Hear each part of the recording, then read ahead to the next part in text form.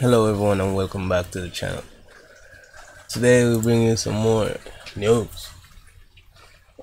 Sorry I've been haven't been uploading for a, while now, a very long while now. But things have been hectic for some time and I'm not sure when it's gonna ease up. So I'm gonna like start doing at least one video per week either at the beginning of the week or at the end of the week when uh, I can get the news to you. So, without further ado, let's get into it. Starting off, AMD RX 5700 series reportedly end of life. Yeah.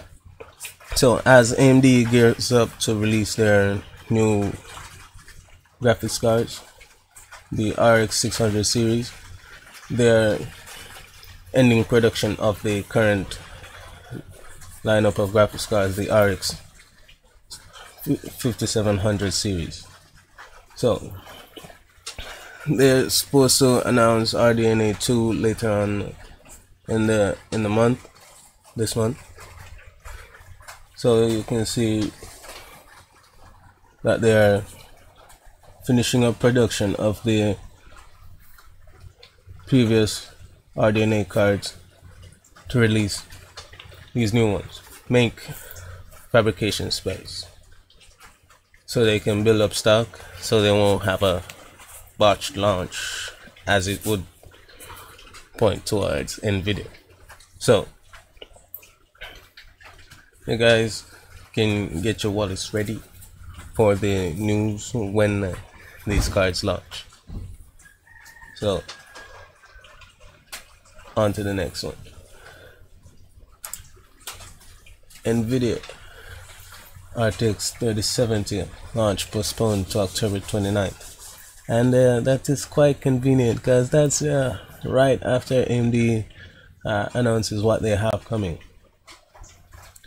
Yeah, so the, it looks like NVIDIA is holding off on releasing this card to see what AMD has in store.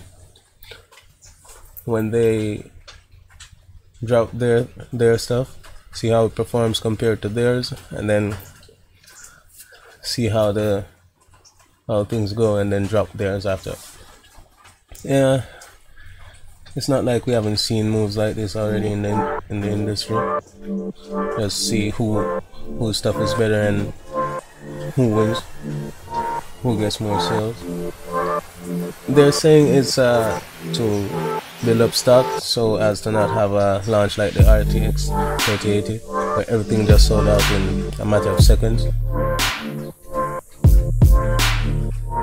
So, new release date October 29th. You guys can check that out when it launches. Next,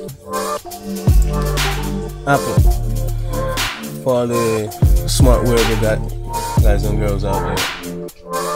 Apple will soon reach 100 million users of the Apple Watch. So, Apple Watch's growth has skyrocketed ever since it was launched. The smartwatch is currently on track to hit 100 million users and has positioned Apple as a major competitor in the health wellness device category.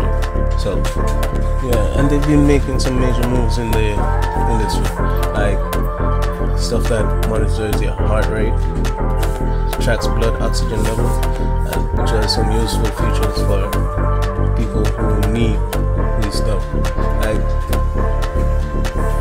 people who are diabetic who need to track their blood sugar level, yeah, stuff like that, real good. Next. You can see we have spotted the RX 37 RTX 3070 spotted going through validation. You can see these are images of the factory where they're testing the dies final validation before putting them on the PCBs and making a card and ship them out. Okay, you can see a lot of information from this picture. And see it's the GA104 die. 40 by 40 I'm not sure what that means. And the device name GA104 test program 300.sh uh, test flow SLT fuse check 100% ball scan. Yeah. for those who know what that information means you can let me know in the comments because I for the life of me I don't know what that means. But I'm just bringing you the news get you guys more hype when the good stuff drop. Next. Acer Predator. Acer Predator X34S new ultralight gaming monitor from Acer. Yeah. A new Acer monitor has been spotted on Chinese Taobao website. Yes. It's going for 9,999 Chinese yuan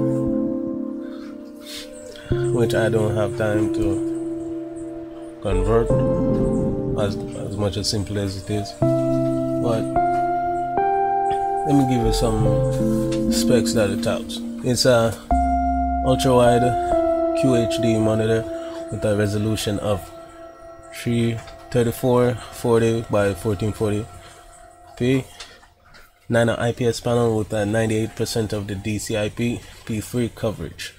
Of the color space up to 200 hertz variable refresh rate with G-Sync support. So this monitor will be very well your guys' next monitor because it even has a latency of 0.1 milliseconds. I've never seen that on a, monitor before. So you guys can keep watch. Maybe it comes to the Western market, but as you can see it's just in China for the time being a little bit of gaming news. Last story. Yeah. Call of Duty Modern Warfare. Over 200 gigabytes of storage required to install the game. Yes guys. Right now I play Call of Duty Warzone, so I have about half that size. But it's still unbelievable that if you have Call of Duty Modern Warfare, the main game, and Warzone, which is you're going to run into over 256 games, which means those small SSDs won't be able to keep up. Well,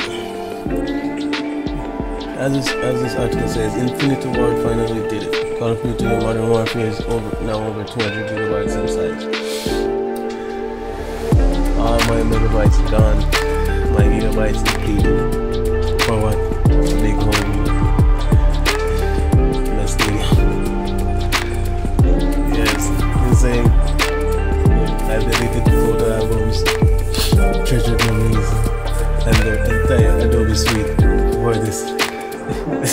be spectacular. Yeah, I've seen other games back in enormous worlds and uh, large experiences and I'm around the file size of like 30 to around 70 gigabytes. Point that. Uh, Cyberpunk 2077. Yeah. When that comes out, I just hope the file size stays into a manageable level. But we're talking about Duty and it's absurd file size. I know I'm not really sure how long persons will keep this on their systems because it's getting out of hand and people people space on their hard disk is a valuable resource. Well guys, that's the last of it. To thank you for watching. If you like the video, like, share it, leave a comment, subscribe. And this has been Wolf with the tech news. As always, all the links to the stories I cover will be in the description. Thanks for watching.